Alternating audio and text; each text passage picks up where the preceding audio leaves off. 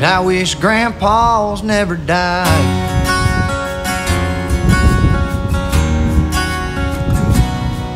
I wish Sundays on a creek bank would never end.